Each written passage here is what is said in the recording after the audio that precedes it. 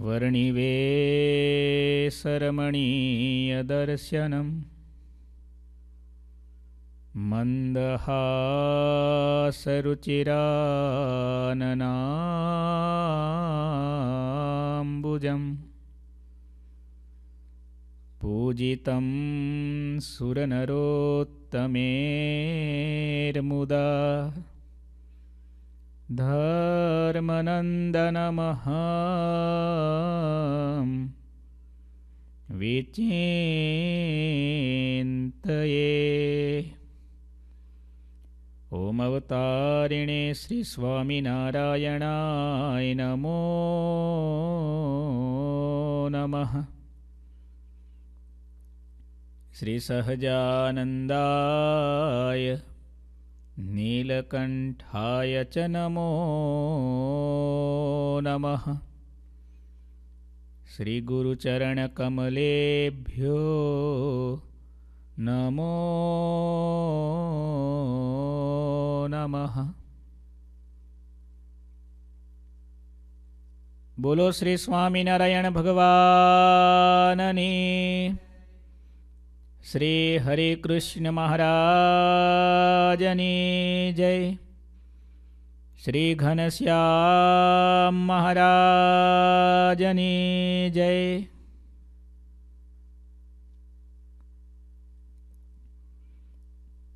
બધા ભક્તોને જય શ્રી સ્વામિનારાયણ.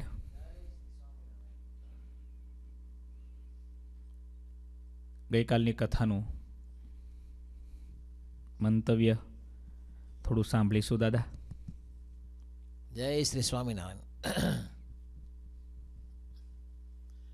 બાળ પ્રભુ પોતાના પિતા શ્રી ધર્મપિતાને કહે છે કે જે અધર્મ કરે છે તે બુદ્ધિમાન હોય તો પણ તેની કીર્તિનો નાશ થાય છે અને વંશે સહિત નાશ થાય છે.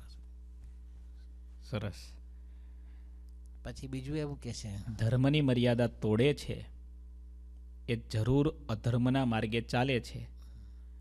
અધર્મ કરતો થાય છે, એની શુભ બુદ્ધિનો નાશ થાય છે.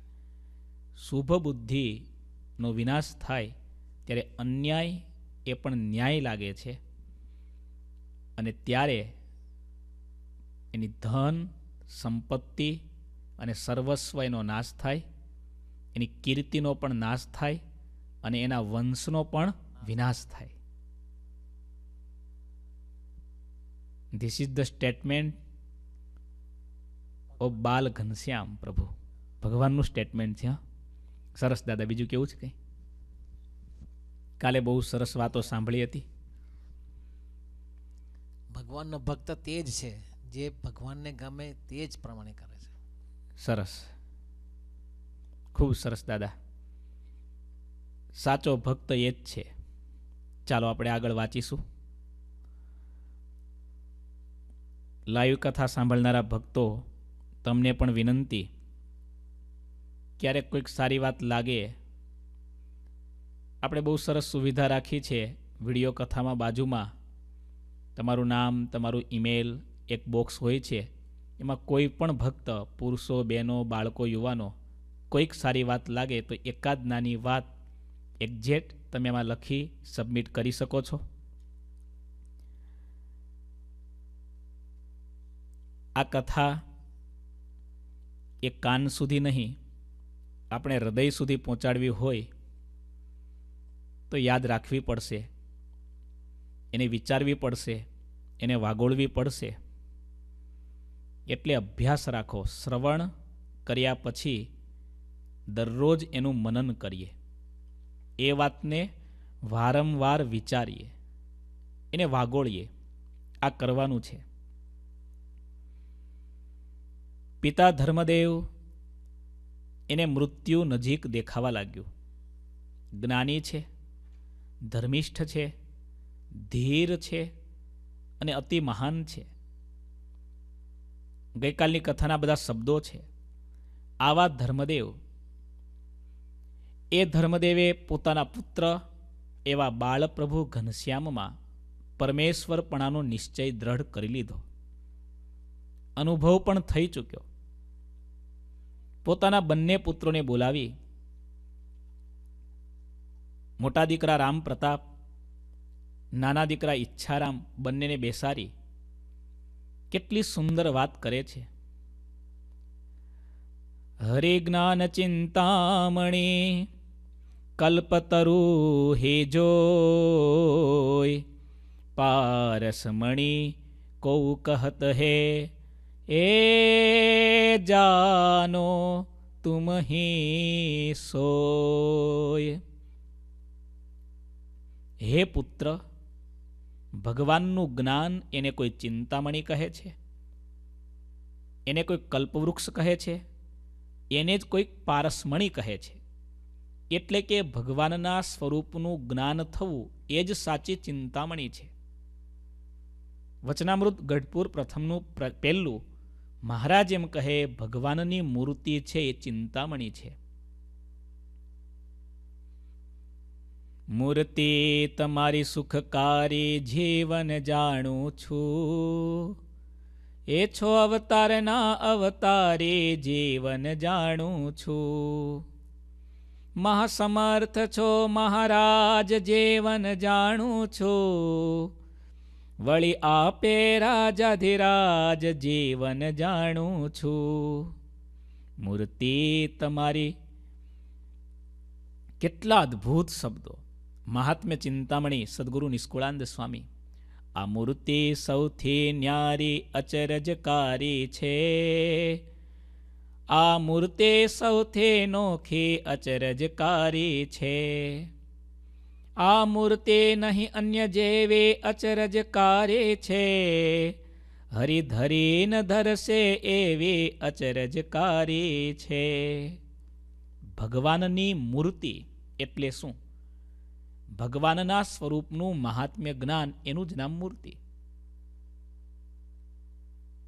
મૂર્તિ આની આ પણ એને જોવા માટે સાચા ભક્તની નજર જોશે. સામે હીરો પડ્યો હોય, પણ કંગાળ હોય ને કંગાળ, તો સમજી લેવું, હીરો પણ સાચો, પણ એ હીરાને જોવાની જે ઝવેરીની નજર હોવી જોઈએ ને એ આ માણસને નથી મળી. બાકી હીરો મળે, કોહિનૂર મળે, કંગાળ રહે. મહારાજે એટલા માટે દ્રષ્ટાંત આપ્યું, ચિંતામણી તો છે, પણ બાળકના હાથમાં છે. પારસમણી તો મળી, પણ ભરવાડને મળી. બકરાના ગળે બાંધી એણે. શું લાભ થાય એનાથી? મૂર્તિ એટલે ભગવાનના સ્વરૂપનું જ્ઞાન અને ભગવાનના સ્વરૂપનું જ્ઞાન જેને થાય એને ચિંતામણી મળી ગઈ, કલ્પવૃક્ષ મળી ગયું, પારસમણી મળી ગઈ. હે પુત્રો, જેવી રીતે કોઈ પિતા મૃત્યુના સમયે પોતાના પુત્રોને ધનનો ખજાનો બતાવે છે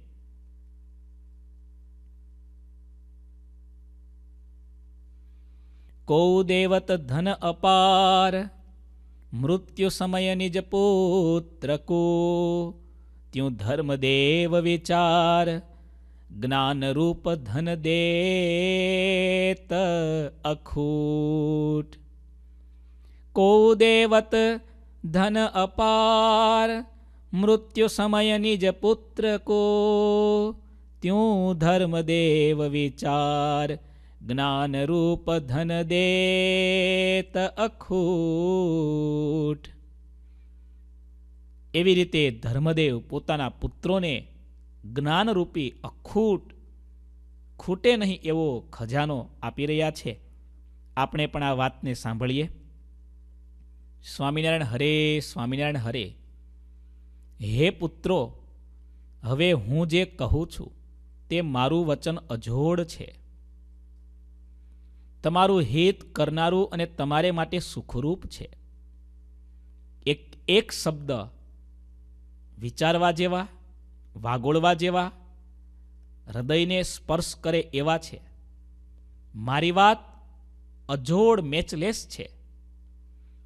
તમારું હિત કરનારી બેનેફિશિયલ ટુ યોર લાઈફ તમારા જીવન માટે સૌથી વધારે કામ લાગે એવી અને તમારે માટે સુખરૂપ છે. જે અતિશય રહસ્યની વાત છે તે કહું છું. તેને તમે તત્પર થઈને સાંભળો. હું જે સિદ્ધાંત વચન કહું છું, તેને સ્નેહથી હૃદયમાં સંઘરી રાખજો.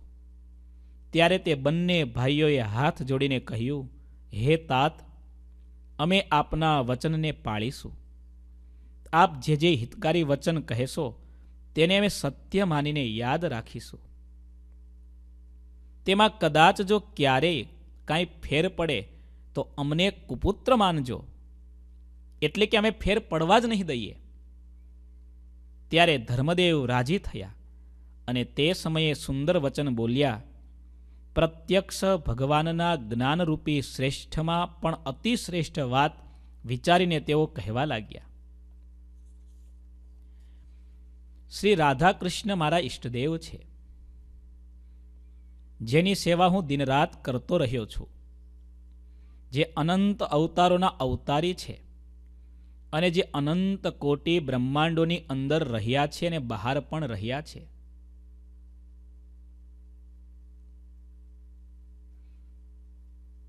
રાધા કૃષ્ણ મમ ઈષ્ટ હે દેવા જાકી કરત મે નિસદિન સેવા. રાધા કૃષ્ણ, મમ ઈષ્ટ હે દેવા. જાકી કરત મે નિસદિન સેવા. અનંત અવતાર કે અવતારે અનંત બ્રહ્માંડ કે માહી હે બારે અનંત અવતાર કે અવતારે અનંત બ્રહ્માંડ કે માહી હે બારે ધર્મદેવ પોતાના બંને પુત્રોને કહે છે, શ્રી રાધા કૃષ્ણ દેવ એ મારા ઈષ્ટદેવ છે. જેની મેં રાત અને દિવસ સેવા કરી છે, જેને મેં અવતારના અવતારી માન્યા છે. અનંતકોટી બ્રહ્માંડમાં અંદર અને બહાર, આગળ અને પાછળ, સદા, સર્વત્ર, સર્વદા એ પ્રભુ બિરાજમાન છે. તાકે ધામ હે, અનંત અપારા, સો પાવે જે સો ભક્ત અધિકારા. એસે સમર્થ શ્રી હરિ જો બંધુ તુમારે ભયે સોવો. એ પ્રભુના અનંત ધામો છે. જે ભક્ત જેવો અધિકારી હોય, એવા અધિકાર પ્રમાણે એ ધામને પામે છે. પરંતુ હે પુત્રો, મારે જે તમને વાત કહેવી છે, જેને હું અવતારોના અવતારી માનતો હતો અનંત કોટી બ્રહ્માંડોના અધિપતિ માનતો હતો. જીવ પ્રાણી માત્રના અંતર્યામી માનતો હતો. જે કંઈ જગતમાં દેખાય છે બધાનો આધાર માનતો હતો. એ પરમાત્મા, એ પ્રભુ પ્રગટ થયા છે. એ બીજા કોઈ નહીં. એ સે સમરથ. શ્રી હરિ જોવો, બંધુ તુમ્હારે હે. ભયે હે સોવો. એવા સમર્થ શ્રી હરિ તમારા બંધુ એટલે કે ભાઈ થયા છે. સો બાત નિશ્ચય કરી જાનો, બંધુ બુદ્ધિયા મે મત માનો. સો બાત નિશ્ચય કરી જાનો બંધુ બુદ્ધિયા મે મત માનો યા કે મનુષ્ય ચરિત્ર જે તે મોક્ષદાયી તુમ માનો તે તે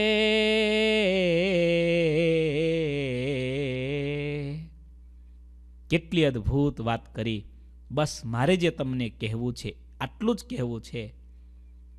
આ તમારા નાના દેખાતા ભાઈ, ઘનશ્યામ, એમાં બંધુ બુદ્ધિ એટલે કે ભાઈપણાની બુદ્ધિ એને છોડી દેજો. એમાં પરમાત્માની બુદ્ધિ રાખજો. એમના કોઈ ચરિત્ર હોય જેમાં મનુષ્ય લીલા દેખાતી હોય, મનુષ્ય જેવો ભાવ દેખાતો હોય, એવા ચરિત્ર દેખાઈને, તો એ ચરિત્રને પણ તમે કલ્યાણકારી માનજો. એ પ્રભુ મનુષ્ય સમજી શકે, મનુષ્યને આનંદ થાય, આવું કોઈ કાર્ય કરે, તો એમ માનવું એ પણ પ્રભુની કૃપા છે કે આપણા જેવા જીવો ઉપર આપણા કલ્યાણને માટે પ્રભુએ આવી લીલા કરી. પરમાત્મા જો અખંડ પરભાવ, એટલે કે અક્ષરધામના ભાવમાં જો અખંડ રહે ને, તો આ દુનિયાનો કોઈ જીવ એ મહારાજનું સુખ લઈ જ ન શકે. જેવો માણસ બાળક હોય તો એ પ્રભુ બાળકને સુખ આવે એવા ચરિત્ર કરે. પિતા કે માતા હોય તો એને સુખ આવે એવા ચરિત્ર કરે. કોઈ જ્ઞાની માણસ હોય તો એને સુખ આવે એવા ચરિત્ર કરે. પ્રભુ તો જીવ પ્રાણી માત્રનો ઉદ્ધાર કરવા માટે પ્રગટ થયા છે. સામેવાળા જીવને પોતાની મૂર્તિમાં ચોંટાડવા માટે, પોતાની મૂર્તિનો મહિમા ઓળખાવી, આત્યંતિક કલ્યાણનું ભાથું બંધાવવા માટે પ્રગટ થયા છે. અનંત જીવોનો ઉદ્ધાર કરવાને માટે તેઓ આજ મારે ઘેર પ્રગટ થયા છે. મારે, મારો જ્યારે અંત સમય આવ્યો છે, ત્યારે તે શ્રીહરિએ મને પોતાનો પ્રતાપ બતાવ્યો છે. મારા ઉપર મારા પ્રભુની મોટી કૃપા. હું અત્યાર સુધી અજ્ઞાનમાં હતો, એક મોહમાં હતો કે આ મારો પુત્ર છે. મને ખૂબ લાડીલો છે, મને ખૂબ વાલો છે, પણ એ પ્રભુની કૃપા થઈ. એ પ્રભુએ પોતાનો પ્રતાપ પ્રગટાવ્યો છે, મને અનુભવ કરાવ્યો છે અને એ મારા અનુભવના આધારે તમને કહું છું. હમણાં આપણે બે દિવસ પહેલાં વાત સાંભળી, ધર્મદેવને સમાધિ થઈ. આપણા શાસ્ત્રોમાં તેવી કેટલી બધી વાતો છે. એટલી વસ્તુ ચોક્કસ છે, આપણા ગુરુજી કહે છે ને, સર્વોપરી તો મારો એક મહારાજ જ છે. આ એકડો આપણે ઘૂંટવાનો છે ઘૂંટવાનો છે ને ઘૂંટવાનો જ છે. મેં કથામાં વાત કરી હતી, મહારાજને સર્વોપરી જાણવા એટલે ઉપાસના. ઉપાસના એટલે મહારાજને કરતા જાણીએ. મહારાજ જ કરતા પણ છે, હરતા પણ છે. કોઈ પણ ક્રિયા થઈ, સારી અથવા નરસી, આપણને ગમે એવી અથવા ન ગમે એવી, કંઈક સાનુકૂળ અથવા પ્રતિકૂળ પણ એના કરતાં આપણે કોઈક વ્યક્તિને માની એને દોષિત બનાવી દઈએ છીએ, કોઈક સાનુકૂળ ક્રિયા થઈ, તો કોઈક વ્યક્તિને માની કે આણે આ કર્યું, એને આપણે વાલો બનાવી દઈએ છીએ, એમાં આસક્તિથી બંધાઈએ છીએ, કોઈક પ્રતિકૂળ ઘટના ઘટે, કોઈક વ્યક્તિને ગુનેગાર માની અને એને દોષી ઠેરાવી, એમાં આપણે દ્વેષ રાખીએ છીએ, આ રાગ અને દ્વેષની જાળમાંથી બચવા માટેની મોટામાં મોટી ચાવી, બસ, જે થાય છે, જે થઈ રહ્યું છે એ મને મળ્યા એવા જે મહારાજ, એની ઈચ્છાથી જ થાય છે. આજના દિવસે પ્રભુ, મારી એક જ પ્રાર્થના. એ તારું કરતાપણું મનાય, તુહી તુહી અખંડ થાય. એ તારું કરતાપણું મનાય. તુહી તુહી અખંડ થાય. આ મન બુદ્ધિને ચેતા અહમ. વર્તાવે સાને જાય. શું શબ્દો લખ્યા છે? જે કવિએ આ રચના કરી હોય એને ધન્યવાદ આપીએ.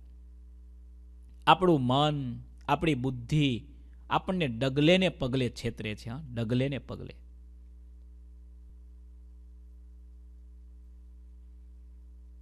ડગલે ને પગલે. આજે માણસ સારો લાગે? કાલે માણસ ખરાબ લાગે? આપણું ધાર્યું થયું તો સારું બધું. આપણું ધાર્યું ન થયું તો બધું ખરાબ. ભગવાનનું કરતાપણું માનવું, ભગવાનનું પ્રગટપણું માનવું ભગવાનનું અલૌકિકપણું માનવું અને ભગવાનને જ સર્વોપરી માનવા આ ઉપાસના છે. આ ચાર વસ્તુ પાકી કરવી, આ એકડો ઘૂંટવો એટલા માટે વચનામૃતમાં એમ કહે, મહારાજ બોલ્યા છે કે ઉપાસના વિના કોઈ વાતની સિદ્ધિ નથી થતી. કોઈ સર્વજ્ઞ થાય છે, કોઈ સિદ્ધ થાય છે, કોઈ પણ પ્રાપ્તિ આ જગતની કે ઉપરના જગતની છે. એના મૂળમાં પરમેશ્વરના સ્વરૂપનો નિશ્ચય ઉપાસનાનું બીજ હોવું જોઈએ. મહારાજનો નિર્ણય છે. માટે ભક્તો, સમજાવી વાત અઘરી છે. સમય આવે, સ્થિતિ આવે, સંજોગ આવે.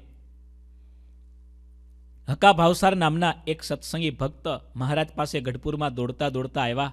મહારાજ મહારાજ, દયા કરો દયા કરો. શું થયું? મારા કાકા કરશન કાકા એ બીમાર થયા છે. તમને ખૂબ યાદ કરે છે. અસહ્ય વેદના થઈ રહી છે. પ્રભુ, દયા કરો, પધારો. મારા કાકાને મુક્ત કરો. એને દુઃખમાંથી બચાવો. દયાળુ દીનાનાથ પ્રભુ, આ દર્દભરી પ્રાર્થનાને સાંભળી સફાળા ઊભા થયા. પૂરા વસ્ત્ર અલંકાર ધારણ નથી કર્યા. આગળ હક્કો અને પાછળ મહારાજ. ગઢપુરમાં એનું ગામ, નજીકમાં એનું ઘર. હક્કાની પાછળ દોડતા દોડતા મહારાજ દોડતા દોડતા હકાએ સમાચાર આપ્યા. મહારાજ આવે છે, મહારાજ આવે છે, તાબડતોબ બધી તૈયારી કરી દીધી. મોટો થાળ ભળી સાકર લાવી મૂકવામાં આવી. મહારાજ માટે આસન, ખુરચી બધું તૈયાર કર્યું. પથારીમાં ખાટલા ઉપર કરશન ભાવસર પડ્યા છે. મહારાજ બેઠા ખબર અંતર પૂછ્યા, શું થયું? મહારાજ ઇમિડિયેટલી ઊભા થયા ને ભાગ્યા. એવા દોડ્યા એવા દોડ્યા. બધા ઘરના માણસો, પેલો હક્કો, બધા દોડે. કરશન ભાવસારને પણ ઘણું દુઃખ થયું. દાદા ખાચરના દરબારમાં આવીને મહારાજ બેઠા. હક્કાએ પૂછ્યું, મહારાજ, કંઈક અમારી ભૂલ થઈ ગઈ? આપ દયા કરીને પધાર્યા અને પાછા આમ અચાનક જતા રહ્યા?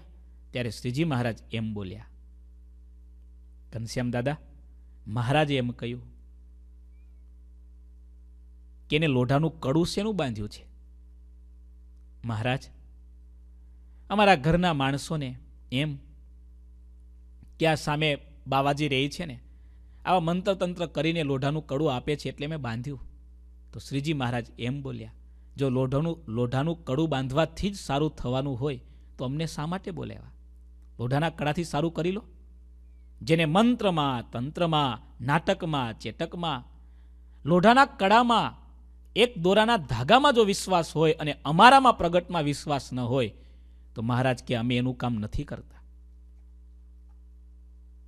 અનન્ય જેને મારામાં વિશ્વાસ છે, નિષ્ઠા છે. નિષ્ઠાની બાબતમાં ભગવાન સ્વામિનારાયણ નવ્વાણું ટકાવાળાને પણ પાસ નથી કરતા. નવ્વાણું ટકા જેને આવે છે, એને પણ ભગવાન સ્વામિનારાયણ નિષ્ઠાની બાબતમાં નપાસ કરે છે. સો એટલે સો. એક પોઈન્ટ પણ ઓછો એમાં ન ચાલે. એક તાવ જેવી બીમારી આવે, થોડી અસહ્ય વેદના થાય અને બીજો આશરો કરે, અન્ય આશ્રય માની લે અને ક્યાં કરતાપણું સમજ્યું અને ક્યાં સર્વોપરીપણું સમજ્યું? ક્યાં ભગવાનને પ્રગટ માન્યા? એવી ને એવી બીજી વાત. નારુપંત નાના, વડોદરાના, બહુ સારા ભગવાનના ભક્ત. એના પુત્ર હરિપંત. હરિપંત બીમાર થાય. ઘણી બધી દવા કરી વૈદ્યો, હકીમો, ડોક્ટરો, ઘણા બધા આવ્યા. પણ ઠાકોરજીની ઈચ્છા હોય એમ જ થાય છે. બીમારી વધવા લાગી વધવા લાગી માતા પિતાને એક ને એક દીકરો, આંખોના તારા સમાન, આંધળાની લાકડી સમાન માતા પિતા ડરી ગયા કે નક્કી હવે આ દીકરો ટકશે નહીં, જીવશે નહીં. પિતા કરતાં માતાની લાગણી વધારે મજબૂત હોય. માતાનો મોહ માતાની મમતા બહુ ખતરનાક હોય છે. મા તરીકે નારુપંત નાનાના પત્ની હરિપંતની બાજુમાં બેઠા છે. મૂળ પોતે માતાજીના ભક્ત. અને પછી શ્રીજી મહારાજ પ્રગટ મળ્યા. મહારાજનું ઐશ્વર્ય, પ્રતાપ જોયું, જાણ્યું, સમજ્યું અને ત્યાર પછી મહારાજનો નિશ્ચય થયો. પણ આ સ્ત્રીને સ્ત્રી સ્વભાવે કરીને એમ થયું, ભગવાન સ્વામિનારાયણ કામ નહીં કરે, મારી માતાજી કામ કરશે માતાજીના મંત્રો, માતાજીને પ્રાર્થના, માતાજીને અરજી, હે માડી, હે માવડી, વિનંતી કરવા લાગ્યા. રડતા જાય ને પ્રાર્થના કરતા જાય રડતા જાય ને વિનંતી કરતા જાય, એટલી વારમાં ઓરડામાં તેજ પથરાયું, અંજવાળું થયું. એ તેજમાં સંતોને જોયા, એ તેજમાં મહારાજને જોયા, મહારાજની આંખો લાલ છે. લાલ ઘૂમ આંખ કરી ભગવાન શ્રીહરિ એમ કહે છે. અરે બાઈ તારે માતાજીને યાદ કરવી હોય કે દાદીજીને યાદ કરવી હોય, તારે જેને સંભાળવા હોય સંભાળી લે. આજે તારા દીકરાને કોઈ બચાવે છે કે નહીં જોઈ લે, આને અમે ધામમાં તેડી જવાના. અમારા સિવાય આ બ્રહ્માંડમાં કરતા કોણ છે? તમે અનુભવ્યું છે, જાણ્યું છે, છતાં સ્ત્રીને પોતાની ભૂલ સમજાણી ભગવાનના ભક્ત હતા ને. મહારાજને હાથ જોડી રડી પડ્યા મહારાજ. ગમે એમ તો અમે પામર જીવ છીએ. અમારી બુદ્ધિ ક્યારે ચડી જાય, અમારી બુદ્ધિ ક્યારે આઘી પાછી થઈ જાય, દુઃખનો સ્વભાવ છે માણસને ડગાવી નાખે, સુખનો સ્વભાવ છે માણસને ઉદ્ધત બનાવી દે, છકી જાય માણસ. દુઃખમાં ડગે નહીં, સુખમાં છકે નહીં, એ ભગવાનનો ભક્ત છે. ગુરુજીએ ઘણી વાર આ વાત કરી છે. દુઃખ આવે ત્યારે ડગે નહીં. દુઃખ પડે દિલ ગીરન થાવો સુખ વડે હર ખાઈ ન જાવો.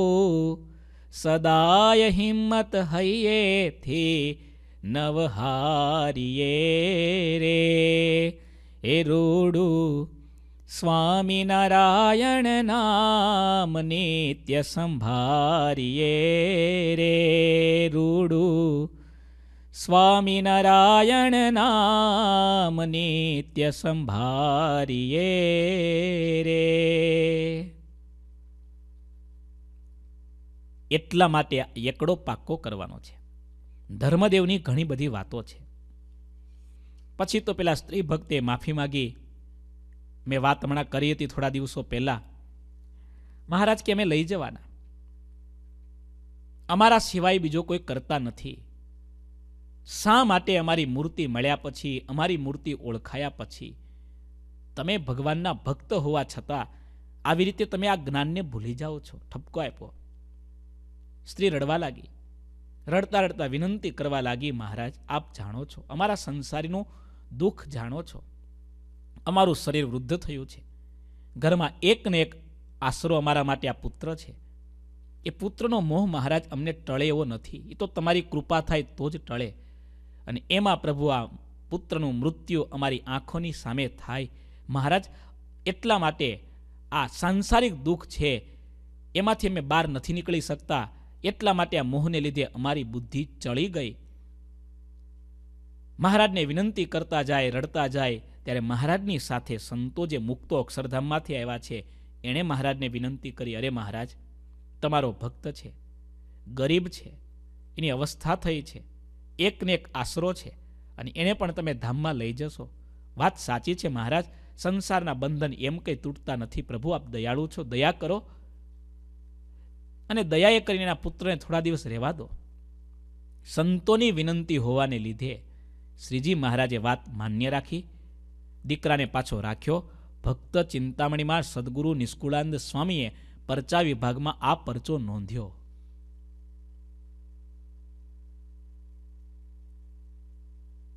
જે થાય મહારાજ જ કરતા છે. ધર્મદેવ પોતાના બંને પુત્રોને કહે છે, હે પુત્રો, બસ આટલી વાત પાકી રાખજો. ભલે દેખાય તમારા ભાઈ જેવા, પણ ભાઈ નથી. ભલે ક્યારેક મનુષ્ય ચરિત્ર કરે, પણ તેમ છતાંય મનુષ્ય નથી. તમારી જેવી ભાષા બોલે, તમારી જેવી ક્રિયા કરે, છતાં તમારા જેવા નથી. આનું જ નામ અલૌકિક ભાવ. લૌકિક એટલે આપણા જેવા. અને અલૌકિક એટલે આપણા જેવા નહીં. ગુણાત્યાનંદ સ્વામી વાતોમાં બહુ સરસ સમજાવે. પારસમણી અને પથ્થર બંને સરખા હોય. દેખાય સરખા, લાગે સરખા, રૂપે રંગે પારસમણી અને પથ્થર બંને સરખા હોય. પણ તેમ છતાં બંનેને સરખા ન કહેવાય. એવી જ રીતે ભગવાન જેવા સંત અને જગતના જીવ બંને દેખાય સરખા. બંને ક્રિયા કરે કદાચ સરખી ખાવાની, પીવાની, સુવાની, પણ તેમ છતાં એક પારસમણી છે અને એક પથ્થર છે.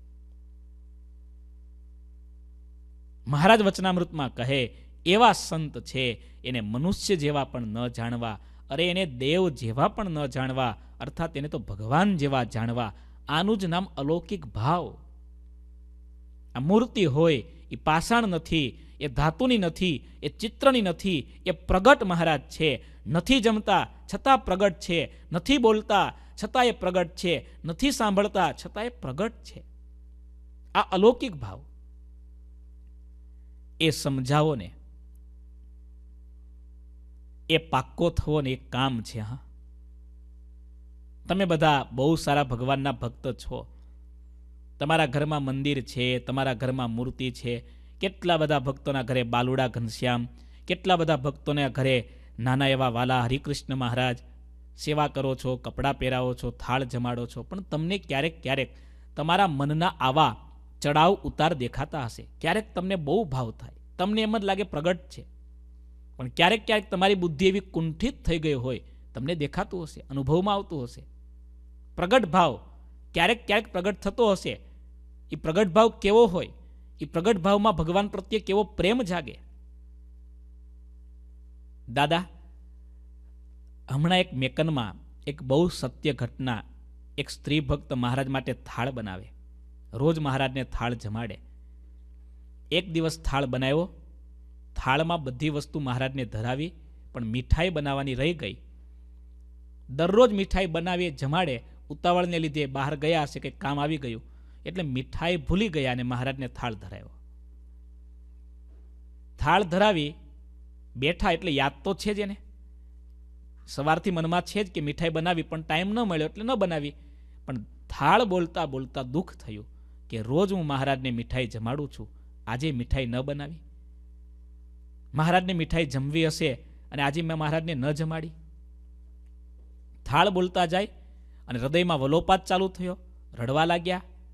હવે મીઠાઈ તો એવી વસ્તુ છે ને કે એક મિનિટમાં બે મિનિટમાં બની જાય. તૈયારી કરવી પડે ગ્રોસરી લાખવી પડે બધી.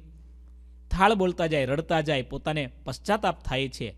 ત્યાં તો જોત જોતામાં આખા મંદિરમાં આખા મંદિરમાં એટલી બધી સુવાસ, એટલી બધી સુગંધ કોઈ નહોતું.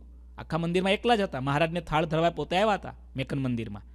એટલી બધી સુગંધ, એટલી બધી સુવાસ, આ સુગંધ ક્યાંથી આવે છે? આ સુવાસ ક્યાંથી આવે છે? મગજ શેકાતો હોય ને, એની સુવાસ જોઈ છે ને તમે? જાણે મગજ શેકાતો હોય, મગજનો થાળ બનાવાતો હોય અને એમાં જેવી સુગંધ, એવી સોડમ ચારે બાજુથી મંદિર આખું ધમધમી ઉઠ્યું, હા? પણ આ ભક્તને મનાઈ ગયું, સમજાઈ ગયું કે મેં મારા હાથથી ભલે મીઠાઈ નથી બનાવી, પણ મારા હૃદયના પ્રેમથી મીઠાઈ બનાવી અને મારા મહારાજે એ મારો પ્રેમરૂપી મીઠાઈ સ્વીકારી લીધી. ભગવાન પ્રગટ છે. પણ આવો પ્રગટ ભાવ. દરરોજ રહેવો, એક બહુ સારા હરિભક્ત એણે મને પોતે વાત કરેલી કે રોજ સાંજે ઠાકોરજીને સુવારવાની સેવા પોતે કરે. સાંજે આવે, સ્નાન કરે, મહારાજનું નાનું એવું સરસ મંદિર, મહારાજ પાસે ઊભા રહે, કાલાવાલા કરે, પ્રાર્થના કરે, મહારાજને જળ ધરાવે અને પછી પડદો પાડે, મહારાજને પોઢાડે. દરરોજ સવારે બહેનો સેવા કરે, દિવસે દીકરા દીકરીઓ સેવા કરે, પણ રાત્રે પોતે સેવા કરે. સવારે એમને જોબ વહેલી. એક દિવસ સૂઈ ગયા. બહુ રાત્રે મોડા એવા ઘરના માણસો સૂઈ ગયેલા. એટલે એને એમ કે અવાજ થાય, અંજવાળું થાય, એને એમ કે મહારાજને પોઢાડી દીધા હશે ને ખરેખર પડદો પાડી દીધેલો. રાત્રે સૂતા. પણ સૂતા સૂતા મનમાં એક જ વિચાર ચાલે. શું? કે દરરોજ તો મહારાજને રાત્રે પ્રાર્થના કરી, જળ ધરાવી, પાણી પાઈ, પછી પોઢાડું છું. આ લોકોએ પાણી પાયું હશે કે નહીં? સૂતા. અડધી રાત થઈ. કોઈક આમ હાથ હલાવે. આમ આંખો ખુલી જાય. કોઈ ન હોય, પાછા સૂઈ જાય. થોડી વાર થાય, પાછા કોઈ હાથ હલાવે. આમ ત્રણ વાર થયું, આ ભગત જાગ્યા. મંદિરના સિંહાસન પાસે ગયા. આમ પડદો થોડો હટાવી જોયું. અંદર ગ્લાસ કે પાણી દેખાણું નહીં. આપણે રાત્રે પાણી મૂકીએ ને. બહેનોને જગાડ્યા, ઘરના પરિવારના માણસોને જગાડ્યા કે આજે મહારાજને સાંજે પાણી ધરાયું હતું. ના, તમે ભૂલી ગયા ને. મહારાજ તરસ્યા થયા છે, મને રાત્રે જગાડે છે, પાણી મૂક્યું. પડદો પાડ્યો, પ્રાર્થના કરી અને પછી સૂતા. કેટલા પ્રગટ છે મહારાજ, જુઓ તમે. ધર્મદેવ પોતાના પુત્રોને એ જ કહે છે, મનુષ્ય જેવા ચરિત્ર કરે એને મનુષ્ય ન માનતા. તમારા ભાઈ તરીકે વ્યવહાર કરે પણ એને ખાલી ભાઈ ન માનતા. એને અલૌકિક માનજો, પ્રગટ ભગવાન માનજો. એમાં તમારું કલ્યાણ છે, એમાં તમને સુખ મળશે, એમાં તમને શાંતિ મળશે. કેટલી બધી કથાઓ છે. ધર્મદેવ જ્યારે અક્ષર નિવાસી થવાના હતા, એ સમયના ઘણા પ્રસંગોમાં આપણા શાસ્ત્રોમાં નોંધેલી બે ત્રણ વાતો લઉં ખાલી.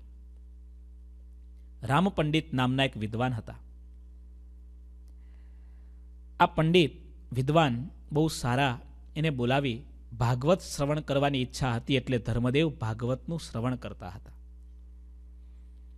ભાગવતજીની કથા સાંભળે, પેલા પંડિત વિદ્વાન કથા વાંચે, કથા સાંભળતા સાંભળતા શ્રીમદ ભાગવતના દ્વિતીય સ્કંધમાં અવતારોનું વર્ણન આવે છે. મત્સ્ય, કચ્છ, વરાહ, વામન ભગવાનના અવતારો છે, ભગવાનની વિભૂતિઓ છે.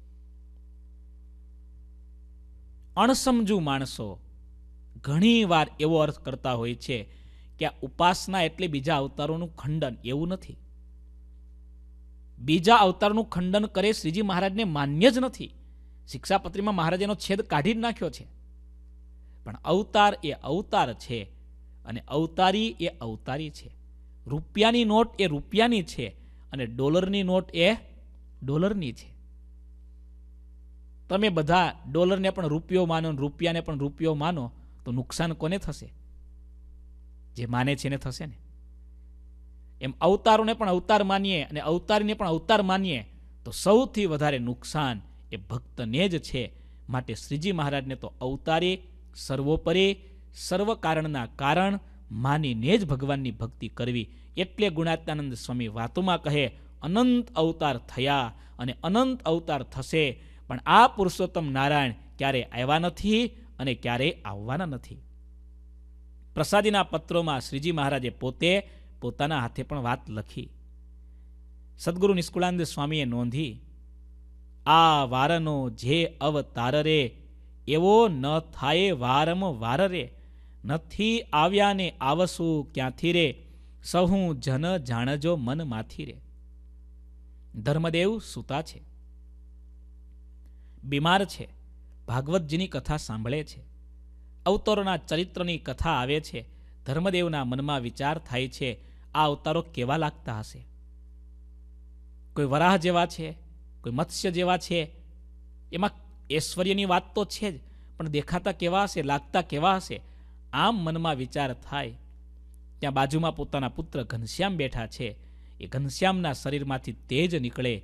તેજમાંથી એક એક અવતારો પ્રગટ થાય અને એ અવતારો પ્રગટ થયેલા ધર્મદેવને દર્શન થાય અને ત્યાર પછી એ બધા અવતારો પાછા ઘનશ્યામમાં સમાઈ જાય. આવી તો ઘણી બધી કથાઓ આપણા શાસ્ત્રોમાં લખી છે. છપૈયામાં ધર્મદેવના ઘરની બહાર એક આંબલીનું ઝાડ છે. એ આંબલીના ઝાડની નીચે એકવાર મામા વસરામ તિવારી અને મામી સુંદરીબાઈ વગેરે આવેલા. બધા બેઠા છે. ધર્મદેવ ખૂબ સારા વિદ્વાન છે, પંડિત છે. એટલે બધા બેઠા છે અને બેઠા બેઠા ચર્ચા કરે છે.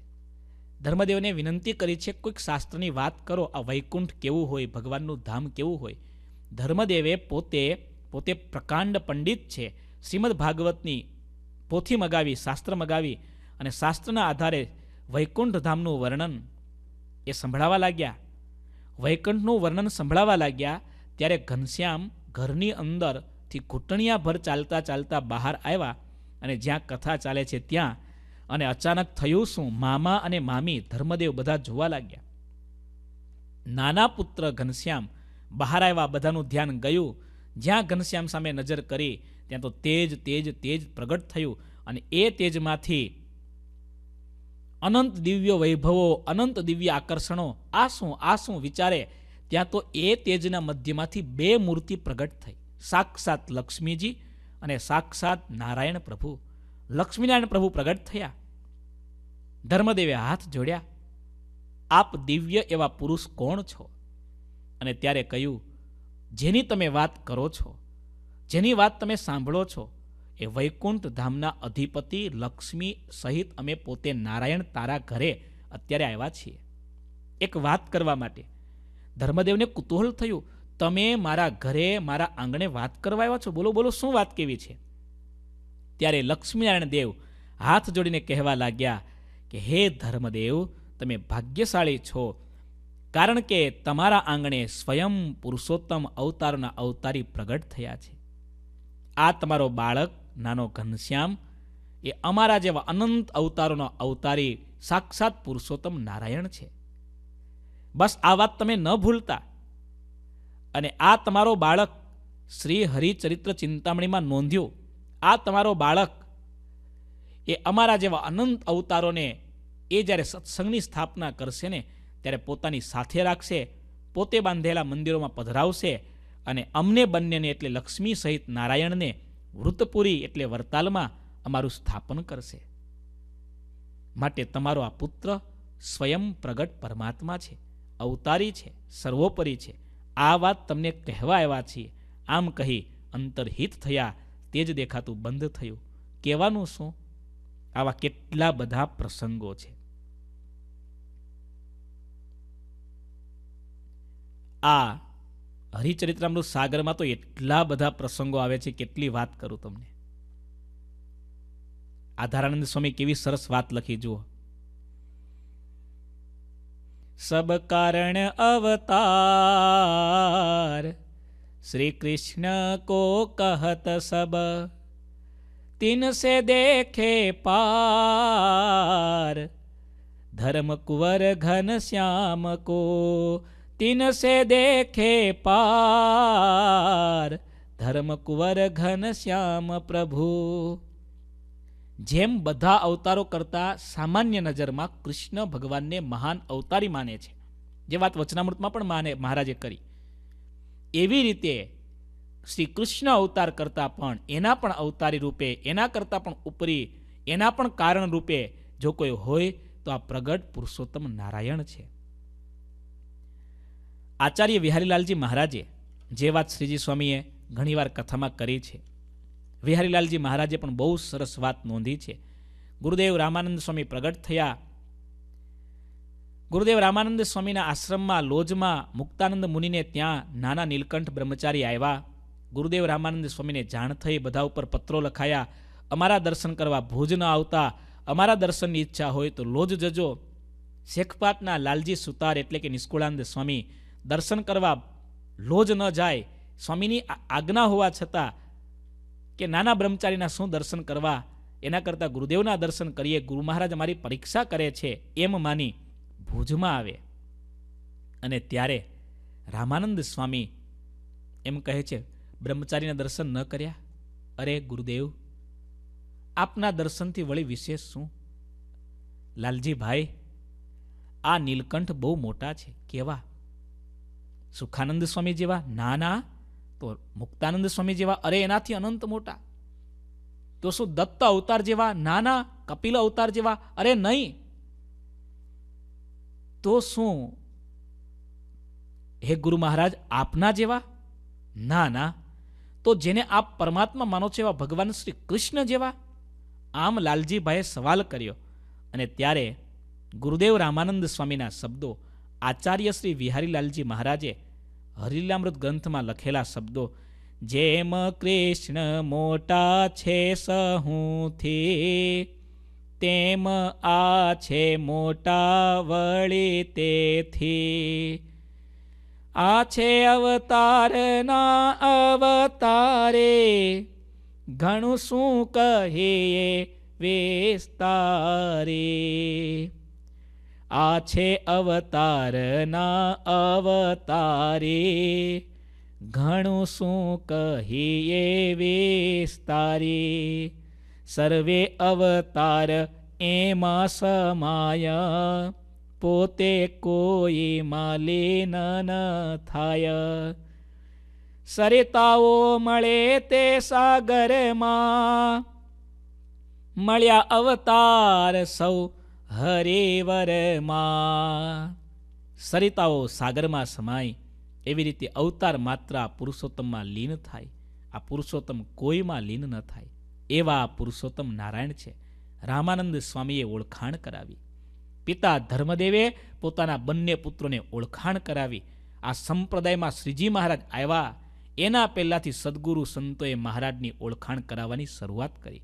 પિતા ધર્મદેવ, ગુરુદેવ રામાનંદ સ્વામી ગુરુદેવ મુક્તાનંદ સ્વામી અને એ જ પરંપરામાં આપણા ગુરુજી વારંવાર એક જ વાત કરે, સર્વોપરી તો મારો એક મહારાજ છે. એટલે વચનામૃતમાં મહારાજે કહ્યું કે, કદાચ પંચ વર્તમાન સંબંધી કંઈક ખામી હશે. મધ્યનું વચનામૃત નવમું, કદાચ ધર્મ સંબંધી વર્તમાન સંબંધી ખામી હશે, તો ભગવાનને હાથ જોડી પ્રાર્થના કરશે, પશ્ચાતાપ કરશે અથવા પ્રાયશ્ચિત કરશે, તો એ પાપમાંથી મુક્તિ થશે. ધર્મ સંબંધી ખામી મહારાજના વચનામૃતના શબ્દો છે. કેટલા બધા શાસ્ત્રોની વાતના રેફરન્સ છે. પ્રાર્થના કરવાથી, પશ્ચાતાપ કરવાથી, પ્રાયશ્ચિત કરવાથી એમાંથી મુક્તિ થશે. પણ ભગવાનના સ્વરૂપની નિષ્ઠામાં જો ખામી હશે ને, તો ક્યારેય પણ એની મુક્તિ નહીં થાય. માટે એક ગાંઠ તો વાળી લઈએ, એક વાત તો મનમાં નક્કી કરી જ લઈએ કે સર્વોપરી તો મારો એક મહારાજ છે. આ મહારાજ સિવાય બીજો કોઈ ભગવાન નથી. ઘરમાં, ઘરના સિંહાસનમાં, આપણી ગાડીમાં, આપણા હૃદયમાં ઉપાસના અનન્ય કરો. અને અનન્ય ઉપાસના થાયને પછી તમારા જીવનમાં તમે અનુભવશો. બે નિષ્ઠા, એક ભગવાનની નિષ્ઠા અને એક સદગુરુ નિષ્ઠા. આ બે નિષ્ઠા તો હોવી જોઈએ હોવી જોઈએ ને હોવી જ જોઈએ. એના વગરનું જીવન એ તો કેવું છે? અંધકારમય જીવન છે. સૂર્ય ન હોય, ચંદ્ર ન હોય તો પૃથ્વીની દશા શું થાય? શું થાય દાદા? એમ સદગુરુ નથી. ભગવાન નથી જેના જીવનમાં. એનું જીવન અંધકારમય છે. કલ્યાણના માર્ગે એ અંધારામાં ફાફા જ મારે છે. ક્યાંક અથડાવાનો, ક્યાંક ખાડામાં પડવાનો જ. સદગુરુ વિના અને ભગવાનની નિષ્ઠા વિના.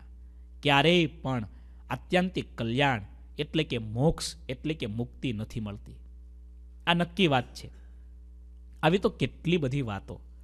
ધર્મદેવ પોતાના બંને પુત્રોને આ પરિચય આપે છે. હે પુત્રો, બસ આટલી વાત નિશ્ચય કરીને જાણજો.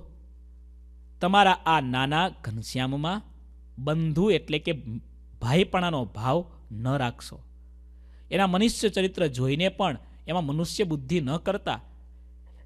એના મનુષ્ય ચરિત્રો પણ અનંત જીવોના મોક્ષને કરનારા છે. ધર્મદેવ કહે છે, તે સમર્થ મહાપ્રભુને હું આટલા દિવસ સુધી મારા પુત્ર છે એમ જાણતો હતો. હવે અત્યારે મને તેનો બધો મહિમા સમજાયો છે. તે તમને બંનેને હું કહી રહ્યો છું. આવા ઘોર કળિયુગમાં તે શ્રીહરિ પ્રગટ થયા છે. હવે તે શ્રીહરિનું શરણું લીધા સિવાય બીજા કોઈ ઉપાયથી જીવનો મોક્ષ થઈ શકે તેમ નથી. ધર્મદેવ કેટલી સરસ ભલામણ કરે છે. હે પુત્રો, હું તમારા હિત માટે સત્યવાદ કહું છું. તમે તમારા ભાઈ પ્રત્યક્ષ પરમેશ્વર આ શ્રીહરિને શરણે થાઓ. આ તો રાંકને ઘેર ચિંતામણી રહ્યો છે. બંને ભાઈઓએ પિતા ધર્મદેવના વચન સાંભળ્યા. પછી પોતાની માન મોટપને મૂકી દીધા અને પિતાએ જે રીતે કહ્યું તે પ્રમાણે પોતાના બંધુ શ્રીહરિને શરણે ગયા, અર્થાત તેમનું શરણ સ્વીકાર્યું. ઇતિ શ્રી સહજાનંદ સ્વામી શિષ્ય સિદ્ધાનંદ મુનિ વિરચિત શ્રી હરિચરિત્રામૃત સાગરના પ્રથમ પૂરમાં શ્રી હરિએ પિતાજી આગળ કરેલી વાત રામપ્રતાપ તથા ઈચ્છારામને પિતાની શિખામણ એ નામે છોતેરમો તરંગ સમાપ્ત. ધર્મદેવે ખૂબ સરસ ભલામણ પોતાના બંને પુત્રોને કરી. કે કળિયુગમાં આ ભગવાન પ્રગટ થયા એ બહુ મોટી વાત છે. એના કરતાં મોટી વાત એ પરમાત્મા આપણને ઓળખાયા. હવે બસ છેલ્લામાં છેલ્લી મોટી વાત એ કરવાની છે. ધર્મદેવ એમ કહે છે આ શ્રીહરિને શરણે થયા સિવાય આ કળિયુગમાં બીજો કોઈ આરો છે જ નહીં ઉદ્ધાર થવાનો. હમણાં શ્રીજી સ્વામી કીર્તન ગાયું હતું ને? કલિમે સાચો સતયુગ આયો, સ્વામિનારાયણ દેવ પ્રગટ ભયે. એ સ્વામિનારાયણ દેવ પ્રગટ ભયે. ए मुनिसङ्गमरमजनायो हे मुनिसङ्गमरमजनायो कलिमे साचो सतयुग आयो। चारण के धर्म सनातन वेद पुराण बतायो चार वर्ण के धर्म सनातन वेद पुराण बतायो नेम सहित पालत नर नारे नेम सहित पालत नर नारे ભવજલ પાર પમાયો હે ભવજલ પાર પમાયો કલી મેં સાચો સતયુગ આયો આ કળિયુગમાં સ્વામી નારાયણ દેવ પ્રગટ ભયે આ પુરુષોત્તમ નારાયણ પ્રગટ થયા। એનું સરણું સ્વીકારો. મોટા ભાઈ, નાના ભાઈ, માન, મોટપ છોડીને બંને ભાઈએ બાલપ્રભુને હાથ જોડ્યા. હે પ્રભુ, આપને શરણે રાખજો, આપને શરણે લેજો. ક્યારેક અમે મનુષ્ય ભાવ કરી બેસીએ તો પણ આપ પરમાત્મા છો, અમે તો જીવ છીએ. અમે ક્યારેક ભૂલ કરીએ તો મારી ભૂલને માફ કરજો. બંને શરણાગતિ સ્વીકારી. કેટલી સરસ આ વાત આપણા બધા માટે કામની. આપણને મહારાજ મળ્યા. બહુ મોટી આપણે પ્રાપ્તિ થઈ. એના કરતાં મોટી વાત, ગુરુદેવ જેવા સંત મળ્યા અને આપણને આ મહારાજ ઓળખાવ્યા. મને મળ્યા જે મહારાજ, તે સામેના જીવને આપવા છે, એ જ મિશન છે. આ ગુરુજીનું મિશન છે, મારે મહારાજ ઓળખાવા છે, મને મળેલા જીવના હૃદયમાં પધરાવા છે. મહારાજ મળ્યા એટલે પ્રાપ્તિ થઈ. એ મહારાજ આપણને ઓળખાયા એટલે હવે પ્રતીતિ પણ થઈ. હવે એક છેલ્લું કામ, છેલ્લામાં છેલ્લું કામ, કલ્યાણ માટે એના પછી કોઈ કામ બાકી રહેતું જ નથી. રામાનુજાચાર્યજીએ પણ એ જ વાત કરી, ગોપાળાનંદ સ્વામીએ પણ એ જ વાત કરી, વચનામૃતમાં પણ એ જ વાત આવે, અરે મુક્તાનંદ સ્વામી, પ્રેમાનંદ સ્વામીના કીર્તનમાં પણ એ જ વાત આવે, છેલ્લામાં છેલ્લી કઈ વાત, દાદા? પ્રાપ્તિ પછી પ્રતીતિ પ્રતીતિ પછી પ્રપત્તિ, શરણાગતિ. હે પ્રભુ, હું તમારો છું. જેવો તેવો તોય પુત્ર તમારો. શરણાગતિ, સરેન્ડર થઈ જવું. એને સોંપાઈ જવું. એની આગળ પોતાના અસ્તિત્વને ઉગાડી નાખવું. એની આગળ પોતાના અહમને મૂકી દેવું. અઘરામાં ઘરું છે આ. પણ જો આ થઈ જાય ને જીવનમાં, જેમ અર્જુને ભગવાન શ્રી કૃષ્ણ યુદ્ધના મેદાનમાં અર્જુનને કહે છે ને, હે અર્જુન, તું ધર્મની વાતો કરે, તને શોભતી નથી. તારા મનમાં જાગેલો આ વૈરાગ્ય અત્યારે અસ્થાને છે. તું નપુંસક છે. તું કાયર છે. યુદ્ધના મેદાનમાં આવી વાતો તારા જેવા સુરવીર પુરુષને શોભે નહીં. સર્વધર્માન પરિત્યજ્ય બધા ધર્મને છોડી દે. મામેકમ શરણમ વ્રજ. અત્યારે તું મારા શરણે થઈ જા. અને અર્જુન તને ખાતરી આપું છું. સર્વધર્માન પરિત્યજ્ય મામેકમ શરણમ વ્રજ.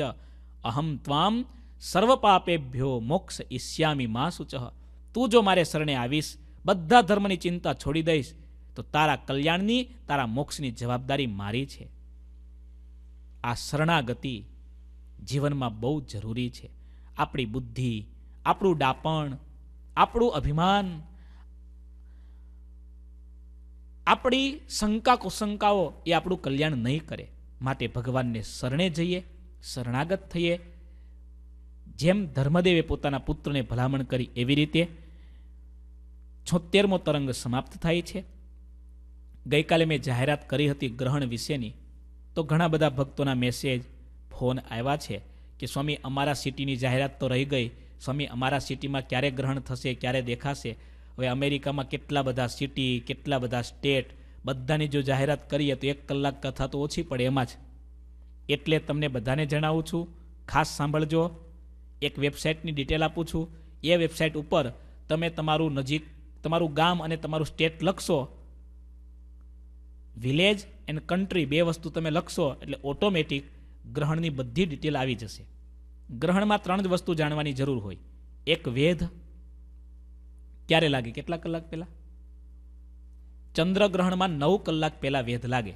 ચંદ્રગ્રહણ હોય, એમાં શરૂ થાય, એને સ્પર્શ કહેવાય, ગ્રહણ પૂરું થાય ને મુક્તિ કહેવાય, અને શરૂ થાય એટલે સ્પર્શ. સ્પર્શ પહેલાં નવ કલાક પહેલાં અનાજ ખવાય, ત્યાર પછી અનાજ ન ખવાય. અનાજ રંધાય પણ નહીં. કોઈ વૃદ્ધ હોય કે બીમાર હોય, એના માટે ત્રણ કલાકનો સમય શાસ્ત્રોમાં રાખ્યો. પોણા ત્રણ કલાકનો. પણ આપણે તો રાત્રિનો સમય છે. એટલે સારામાં સારું. ગ્રહણમાં ભગવાનની ભક્તિ કરવાની હોય, ગ્રહણના સમયે જાગી મહારાજનું ભજન કરીએ, એક આસન ઉપર બેસી જઈએ. બરાબર? જે આસન ઉપર બેઠા હોય, કપડાં, આસન બધું જ ગ્રહણ પૂરું થાય એટલે સ્નાન કરી, પછી પૂજા કરીએ. ગ્રહણ દરમિયાન બીજા કોઈ કપડાને બીજી કોઈ વસ્તુને અડીએ નહીં, અડીએ તો એ બધી વસ્તુ ધોવી પડે.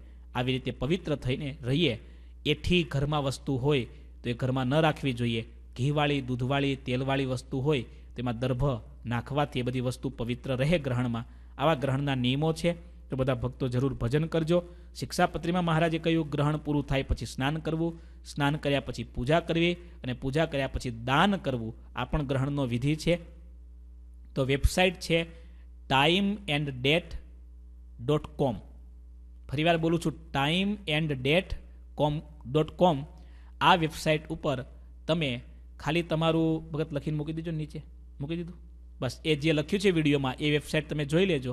અને એમાં તમે ખાલી તમારું સ્ટેટ અથવા સિટી અને કન્ટ્રી નાખશો, કોઈ પણ દેશમાં, ઓસ્ટ્રેલિયામાં, ઇન્ડિયામાં, આફ્રિકામાં, અમેરિકા, બધા દેશનું આ બધી ડિટેલ બતાવશે. એમાં તમને બતાવશે સ્ટાર્ટિંગ પછી મેક્સિમમ પોઈન્ટ અને પછી મૂનસેટ એટલે મૂનસેટ એટલે પૂરું થઈ ગયું. આ ત્રણે ત્રણ વસ્તુ એમાં બતાવશે. તો બધા ભક્તો ખાસ ધ્યાનમાં રહેજો. તમારા શહેર પ્રમાણે, વિસ્તાર પ્રમાણે તમે જાતે જરાક જોઈ લેજો. બધાના ઘરે ઇન્ટરનેટ હોય જ છે. લાઈવ કથા સાંભળનારના ઘરે તો હોય જ. તો હવે ઘણા બધાને પ્રશ્નમાં બધાને સામાન્ય રીતે જણાવું છું. બોલો ઘનશ્યામ મહારાજની જય. શ્રીપતિમ શ્રીધરમ સર્વદેવેશ્વરમ ભક્તિધર્માત્મજમ. देवं हरे माधवं केशवं कामदं कारणं स्वामिनारायणं नीलकण्ठं भजे घनश्यां महाराजनी जय।